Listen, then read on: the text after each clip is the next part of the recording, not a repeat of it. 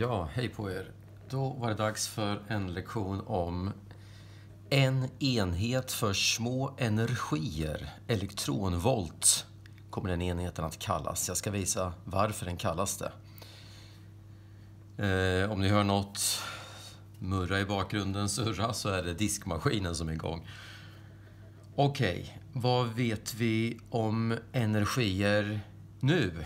Vad har vi för kunskaper om energier? Vi kollar på något som är gammalt för er, någonting som ni redan kan.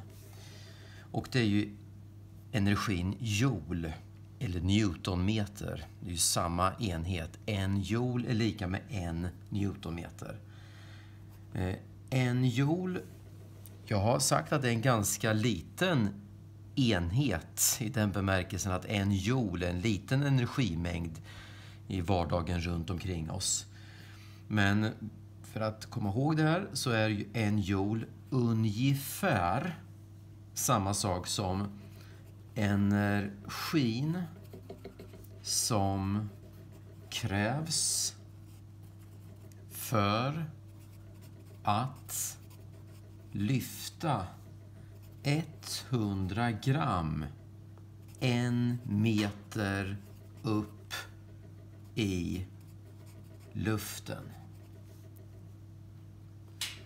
Alltså, vill jag lyfta en liten vikt på 100 gram en meter rakt upp i luften så krävs energin ett joule för att kunna göra det arbetet.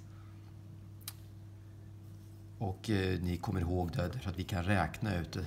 Eh, lyfter jag upp den så kommer den få en lägesenergi som beror på massan, som beror på G och som beror på H. 0,1 gånger ungefär 10 gånger 1, ja det blir 1. Nu ska vi ta fram en enhet för väldigt små energier. När man pratar om energi på, hos atomer och elektroner och, och ljus och strålning som vi kommer komma in på så småningom. Så vi skriver nytt här. Ska vi visa var den här kommer ifrån. Eh, sen har vi två stycken plattor, elektriskt ledande plattor här. Och sen så lägger vi en spänning över de här plattorna här. Eh, vi gör så här, vi har en spänningskällad batteri. Gå på de här sidorna. Ni vet att den här är plus och den är minus. Plus den längsta. Så hela den här plattan nu kommer bli plusladdad. Och den här kommer bli lika stort fast minusladdad. Och eh, vi säger att spänningen här över plattan är en volt. Och så har vi en liten elektron som befinner sig här. En liten som en rund ring med ett minustecken i. En elektron. Nu, den här elektronen kommer ju påverkas av krafter här emellan. Eh, en repellerande kraft från minusladdningarna åt det hållet och en attraherande kraft från plusladdningarna. Så den här kommer ju börja falla häråt om, om den befinner sig där och inga andra krafter verkar på den. Den kommer påverkas av en kraft och accelerera häråt.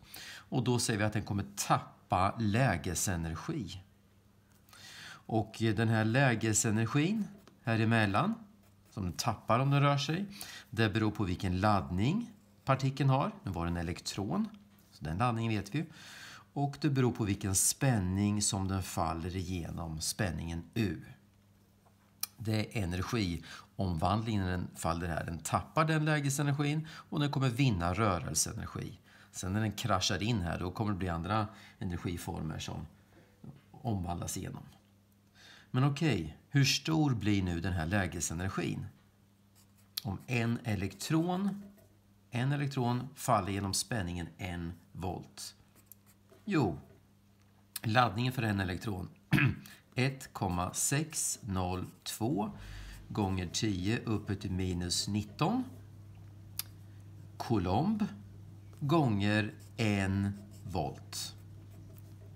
Det blir arbetet som utförs när det faller, energiomsättningen i joule. Och det är ju 1,602 gånger 10 upp till minus 19 coulombvolt skulle jag kunna skriva. Eller joule. Och ni ser, det är ju en väldigt liten energi, 10 uppe till minus 19. Ett väldigt litet värde. Men jag skulle ju också kunna skriva det så här. Att eh, laddningen är en elektrons laddning, en stycken E. Och så ska jag multiplicera det med spänningen. Och eh, spänningen är en, en volt, en och stora V. Och om jag gör den här beräkningen så har jag 1 gånger 1, ja det är ju 1. Och sen E gånger V. Och det skulle vi kunna utläsa som elektronvolt. Alltså rubriken elektronvolt. Och det här är själva definitionen för en elektronvolt. En elektronvolt är lika med 1,602 gånger 10 upp till minus 19 joule. Jättelitet tal. 1 är ju mycket större tal än det här. Och då slipper man hålla på med så, så många negativa exponenter här helt enkelt. Okej, vi skriver upp det här och ramar in det här. Ni skriver nu samtidigt som jag för att lära er det här. En elektronvolt är alltså samma sak som 1,602 gånger 10 uppe till minus 19 joule. Det här finns i formelsamlingen. Det kan ni testa och leta på. Om ni vill så gör ni det direkt nu. Ni kan ju pausa det här och se vad ni hittar det här i er formelsamling. Okej, vi ska titta på några exempel på det här nu. Vi kollar på exempel 1. Och det ser ut så här. Vilken energi i elektronvolt motsvarar 1,5 gånger 10 uppe till minus 21 joule? Frågetecken. Så ni ser att det här är ju ett väldigt lågt tal. Och då tycker man det är bättre att använda elektronvolt så talet inte blir så himla litet. Vill ni försöka lösa den här uppgiften själva nu så pausar ni. Och sen när ni har gjort den så sätter ni igång. Ska vi se om ni har fått fram rätt, samma svar som jag. Okej, så ett sätt att lösa sådana här är att börja skriva upp definitionen för en elektronvolt. En elektronvolt är samma sak som 1,602 gånger 10 upp till minus, oj, minus 19 ska det vara, joule. Ni ser, det är ju elektronens laddning, elementarladdningens värde. Så på så sätt kan man komma ihåg det här. Och sen nu eh, skulle vi få fram en okänd elektronvolt, det är ju det vi inte vet här. Så under elektronvoltsidan skriver jag X elektronvolt. Och det är samma sak som 1,5 gånger 10 upp till minus 21 joule. 1 är lika med det här. X är lika med det här. Och de här är ju en proportionalitet mellan varandra. Så att eh, nu är det som så att om jag tar det värdet x och delar med 1. Jag gör det här nedanför. x delat med 1 måste vara samma sak som det värdet delat med det värdet. 1,5 gånger 10 upp till minus 21 delat med 1,602 gånger 10 upp till minus 19. Så om jag skriver upp dem så här, det är lika med det och det är lika med det. Då måste det också gälla som så att det delat med det är lika med det delat med det.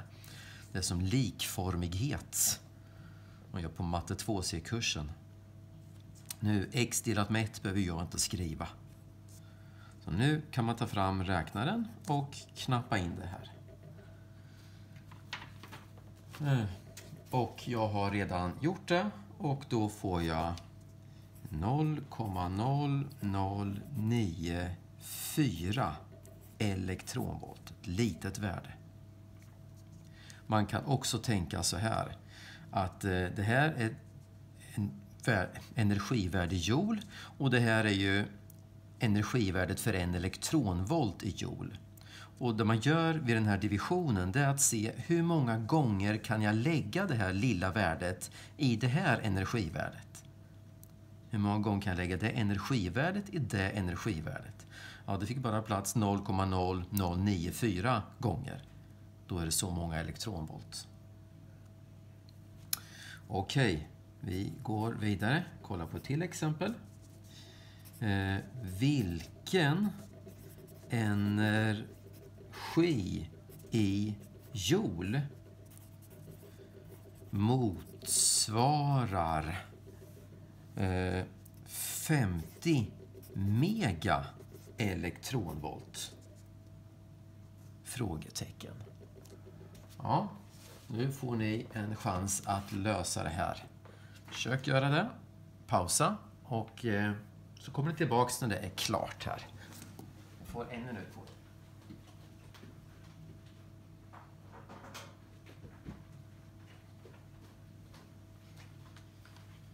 Nu var jag och hämtade min räknare så jag kan knappa här och visa er hur man knappar. Okej, okay, jag gör på samma sätt en gång till här nu. Eh, en elektronvolt är lika med 1,602 gånger 10 uppe till minus 19. Och eh, så har man 50 miljoner elektronvolt. 50 och miljoner, jag byter ut det mot 10 uppe till 6 elektronvolt, är alltså lika med x joule. Hur får man reda på x? Jo, det är ett förhållande mellan de här två och mellan de här två. Förhållandet är densamma. Så det delat med det är lika med det värdet delat med det värdet. Jag börjar skriva x på vänster sida. Så x delat med 1,602 gånger 10 upp till minus 19 är samma sak som 50 gånger 10 upp till 6 delat med 1. Och det behövde ju jag egentligen inte ha med. Det var ju lite onödigt. Dela med ett. Och nu kan vi se, jag skriver en, en eh, ekvivalenspil här. Att x måste vara lika med 50 miljoner gånger det, gånger energin för en elektronvolt. Gånger 1,602 gånger 10 upp till minus 19 eh, joule. Man kan också resonera om det här utan att hålla på att ställa upp den här likheten. Man kan ju säga att om en elektronvolt är lika med det här så måste 50 miljoner elektronvolt vara 50 miljoner mer än det här. Alltså ska jag multiplicera dem. Och vi ser vad det här blir nu då. Så att 50 gånger 10 upphöjt till minus, nej, till plus 6, 50 miljoner. Pil åt höger gånger 1,602 gånger 10 uppe till minus 19. Så här många joule. Nu ser ni, även om jag hade 50 miljoner elektronvolt så är varje elektronvolt så liten så det här blir ett litet tal. Eh, 8 kan jag avrunda det till, gånger 10 uppe till minus 12 joule. Vi ska kolla på några exempel till här så jag tränar riktigt mycket här nu.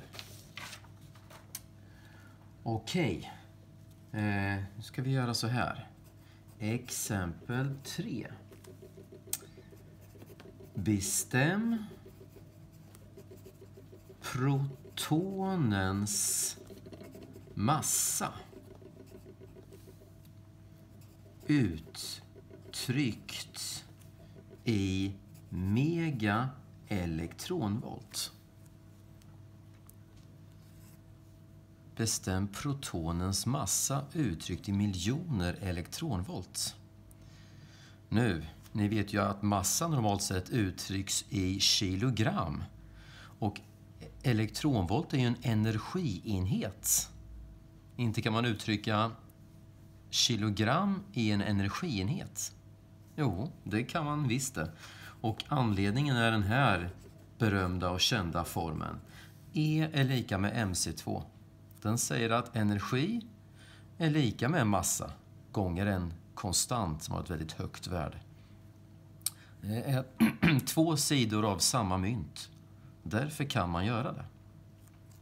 Så vill jag uttrycka en massa i en energienhet så måste jag börja med att räkna ut energienheten. Och för att göra det så måste jag känna till massan i kilo för en proton. Den kan ni slå upp i er formelsamling, skriva ner. Kolla så jag skriver rätt. Den är 1,672621 gånger 10 upp till minus 20, oj, 27 ska det vara där, kilogram.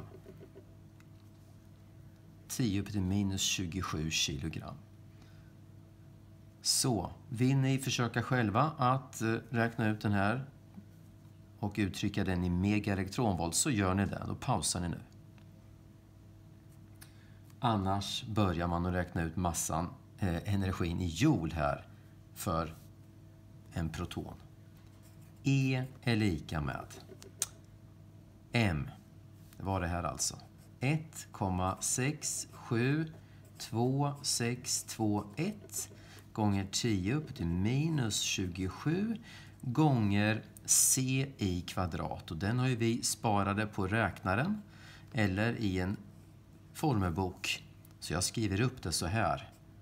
Och sen ska vi räkna ut vad det blir här. Så jag tar räknaren. Och så börjar jag skriva in massan.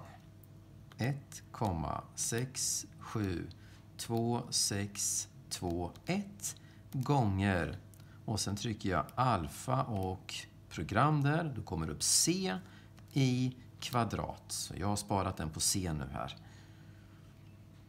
Med alla decimaler som jag har i formelsamlingen. Är lika med. Men titta, jag glömde att multiplicera med 10 upp till minus 27. Så jag fick ett väldigt högt värde här nu. Det var det jag reagerade på. Jag vet att energin ska bli liten. Så jag, men jag multiplicerar bara nu med 10 upp till minus 27 gånger 10 upphöjt till minus 27. Nu får jag ett lågt energiinnehåll hos en proton. Det är viloenergin egentligen hos en proton här. 1,50327 skriver jag upp. Jag har alla decimalerna sparade på räknaren sen jag ska gå vidare. Gånger 10 upp till minus 10 joule. Så här Eh, massan hos en proton kan uttryckas som 1,5 gånger 10 på minus 10 joule. Det är samma sak. Nu ska vi göra om det här till elektronvolt. Flyttar in lite grann för att få plats.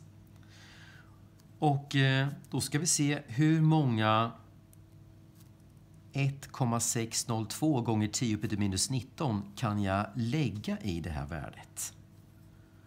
Så att 1,50327 gånger 10 uppe till minus 10 joule är lika med. När jag ska göra om det till elektronvolt så dividerar jag nu med storleken för en elektronvolt.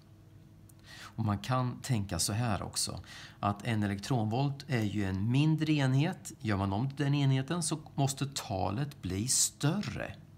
Om jag multiplicerar med energin för en elektronvolt i joule, då kommer det här bli pyttelitet. Jag måste alltså dividera med det för att få det i elektronvolt. Lägger räknaren så här, trycker direkt, dividera med, sätter en parentes. 1,602 gånger 10 upphöjt till minus 19. Och så trycker jag enter. Då får jag ett stort värde här nu. Jag skriver upp alla decimalerna. 9, 3, 8, 3, 7, 5, 0, 2, 2,4 elektronvolt. Och nu var det så stort, så nu förstår ni varför jag vill använda mega elektronvolt. Och mega är ju eh, miljontedel, så jag ska flytta kommatecknet sex stycken steg här nu. Nu är kommatecknet här. En, två, tre, fyra, fem, sex steg. 900, 938 och så tar jag med en decimal. 4 mega elektronvolt. Så kan man omvandla kilogram till elektronvolt. Vägen via E är lika med mc kvadrat. Okej, nu känner ni till lite grann om det här.